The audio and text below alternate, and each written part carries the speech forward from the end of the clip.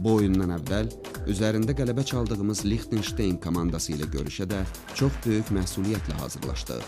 Millimiz bu qalibiyyətə də baş məşqçi Berti Foxun rəhbərliyi altında çox çətin yol keçib. Biz çox hazırlaşırdıq bu oyuna və ona görə də e, mənim vurduğum qol bəlkə də necə deyək, məşq məşqçinin e, məşqdə verdiyi tapşırıqlar və məşqdə işlədiyimiz oyunlar ona görə də öz bəhrəsini verdi. Komandanı təhvil alanda Berti Fox futbolumuzun bəzi problemlərini açıqladı. Bunlar qalibiyyət instinktinin olmaması və legionerlərin sayının çoxluğu idi. Bu müsbət haldır ki, e, e, e, Azərbaycanın 21 yaşlı oyunçularından ibarət komandanın əksər oyunçularını milliyə dəvət etdi. Çox ağır idi Berti Foxa. Yəni Azərbaycan futboluna o qədər yaxın tanış olmayan bir insan birdən-birə böyük bir islahatlara əl atmaqla hardasa böyük bir problemlərlə üzləşirdi. Ancaq tədricən get-gedə get-gedə yeni bir yığmamız formalaşmağa başladı və mən sizə deyərdim ki, son oyunlarda, ümumiyyətlə son oyunda güclü bir Avropanın ən ünlü sayılan bir komandalardan biri Rusiya yığması ilə demək olar ki, Azərbaycan futbolu, ümumiyyətlə Azərbaycan yığması Azərbaycan futbolunu potensialı ortaya qoymaqla nəyə qadir olduğunu sübut elədi və bu oyunda çox gözəl bir e, futbol nümayiş etdirməklə ə, e, heç də ə, e, bu gün sayılan Avropada ə, komandadan zəif təsir bağışlamadı. Millimizin baş məşqçisi etiraf edir. Komandanı qaldırmaq həm mənə, həm də oyunçularımıza çox çətindir.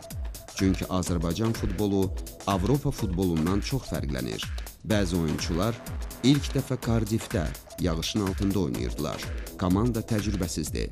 Lakin məqsədimizə çatmaq və müsbət nəticələr əldə etmək üçün yalnız çətin iş rejimi və ciddi nizam-intizam olmalıdır. Bert Foxun gəlişindən sonra nizam-intizam komanda daha çox artdı. Elə birincisi komanda yeməyə gəldikdə bütün hamı bir nəfər ki, yemək, yeməkdə olmalıdır. Sonra telefonlardan istifadə eləməmək lazımdır. Sonra adicə bizdə yəni, futbolçulara masaj, masaj olunur. Masaja gecikdikdə onu cərmələyirdi.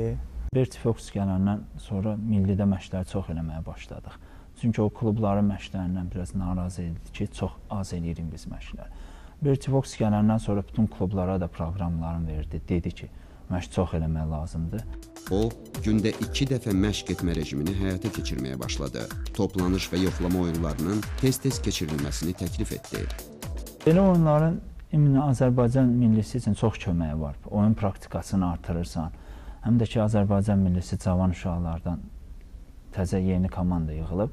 Beləncə oyunların çox belə köməyi var, həddindən artıq O, millimizi xarici ölkələrdə və vətənimizdə tibbi müayinələrdən keçirməklə bir neçə yoxlama oyunlarında qüvvəsini sınadı. Millimiz Bosniya, Andora, İspaniya, Bəhreyn, İslandiya, İran, Özbəkistan, Küveyt, Albaniya milli komandaları ilə qarşılaşdı. Təlim məşq toplanışları isə Almaniyada və Birləşmiş Ərəb Əmirliklərində keçirilib. Doğrudan da məşqlər çoxalıb və biz gündə 2 dənə məşq eləyirik səhər 2 saat və axşam 2 saat minimumdur. Və məncə belə lazımdır. Çünki biz futbolu qaldırmaq istəyirik və e, inkişaf eləmək istəyirik futbolda. Bəli, Azərbaycan futbolu inkişaf etməyə başladı. Berti Fox yığmaya klublardan gənc və perspektivli oyunçuları dəvət etdi. Beləliklə də milli komandamız daha çox gənclərdən təşkil olunaraq gələcəyin komandasına çevrildi və bunun nəticəsi olaraq Bakıda Liechtenstein yığması ilə heç-heçə oynayan komandamız səfərdə onu 2-0 hesabı ilə məğlub etdi.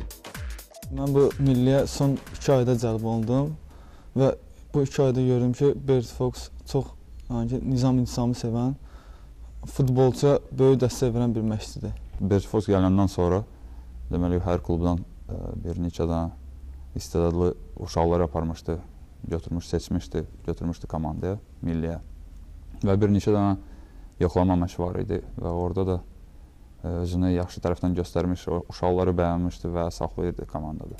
O, klub məşqçiləri ilə fərdi olaraq görüşüb, onlar ilə öz təcrübəsi ilə bölüşürdü. Bir Foxda bir böyük bir siyahı var idi, ə, məşqlərdən ibarət. O da bir-bir bizi çağırırdı, federasiya bizlə söhbət eləyirdi. Biz seçim mənə düşüb. Millimiz Son zamanlar nəhayət əsl komanda oyununu göstərməyə başlayıb. Bunu da onunla izah etmək olar ki, baş məşqçi onları təkcə meydançada deyil, məşqlərdən də kənarda komanda ruhunda tərbiyələndirir. Bert Fox elə eləyir ki, tək futbolu fikirləşməyə, biraz dincəlməyə də vaxt verir. Məsəl üçün bütün getdiyimiz dövlətlərdə yaxşı yerləri, mənzərəli yerləri gedib gəzmişik. Komandamızın potensialı var. Bu dəfə seçmə mərhələlər tarixində 3 rekorda imza atdıq. Birincisi, səfərdə keçirilən rəsmi oyunda ilk dəfə olaraq qələbə qazandıq. İkincisi, ardıcıl olaraq 2 oyundan 4 xal topladıq. Üçüncüsü isə seçmə mərhələlər tarixində ən yaxşı top fərqinə malik olduq. ən yaxşı yığmamızı tanıyan və ola onunla son 2 ildə ə, məşğul olan Berti Fox idi. Və mən inanıram ki, ə, Berti Foxun qalmağı ilə o yığmamıza və Azərbaycan futboluna ancaq və ancaq xeyir verə biləcək.